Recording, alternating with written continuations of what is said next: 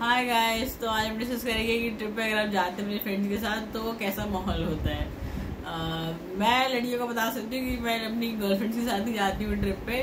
तो अगर हम चार लोग ट्रिप पे जा रहे हैं तो चार लोग के पहले तो चार चीज़ें होंगी। एक कहेगा मुझे खाना है एक कहेगा मुझे सोना है एक कहेगा मुझे फ़ोन देखना है।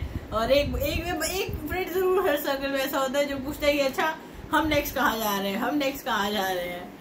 भले जाएगा नहीं बट पूछेगा। मतलब बाबा ना डंडा करता रहेगा कि हाँ ये हो गया, चलो निकलो यहाँ से, अब अगली जगह चलते हैं। और एक होगा शॉपो हॉलिक होगा, जिसको हर जगह जाके शॉपिंग करनी होती है। एक होता है आलसी फ्रेंड जो कहीं भी जाके बस सिटिंग मिल जाए, बस बैठ जाता है। और एक होगा जो अपने फ़ोन में लगा रहता है। उसका फ़ोन तो उठा के फेंक दो, जैसे मूवी में सीन है, दीन आलू के दोबारा में उठा के फेंक दो, ऐसा वाला सीन होता है। तो तरह तरह के फ्रेंड्स होते हैं, तरह तरह का सबका अलग बिहेवियर मूड होता है और सबके अलग अलग खाने की चीज़ें होती है। लाइक कोई कहता है मुझे यही खाना है, कोई कहता है मुझे पिज्जा ही खाना है, कोई कहता है नहीं मुझे चावल दाल खाना है, कोई कहता है मुझे चाइनीज़ खाना है, कोई कहता है कि मुझे सारे इंडियन चीज़ें खानी है जिसमें मुझे चावल भी चाहिए, दाल भी चाहिए, पनीर सब्ज़ी भी चाहिए, मुझे मिक्स वेज भी चाहिए सैलड भी चाहिए, मुझे रायता भी चाहिए, लस्सी भी चाहिए। अब ऐसे इतना खाना है तो भाई थाली यार, सब कुछ मिलता है थाली में। क्योंकि बाकी लोगों का अलग खाना है तो वो फ़ूड वेस्ट हो जाता है लाइक बेसिकली ये रीजन है।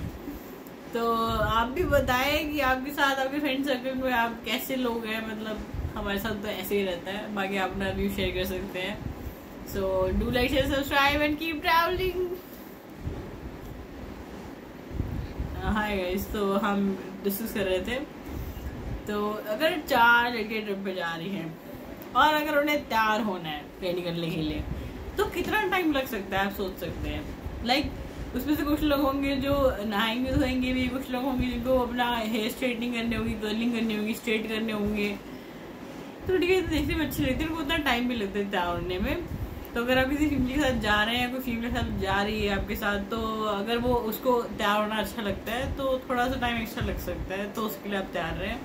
बट ये सिर्फ़ लड़कियों के मामले में सिनेरियो नहीं है। कई बार ऐसा भी होता है कि आजकल ऐसा देखने को ज़्यादा मिल रहा है कि लड़की लड़कियों सारा टाइम लेते हैं तैयार में। जबकि उनको बाल भी नहीं करने, उनको मेकअप भी नहीं करना नो उनका समय लग कैसे जाता है लाइक वॉशरूम एक घंटा नहाएँगे, उसके बाद आधे घंटे कपड़े पहनेंगे।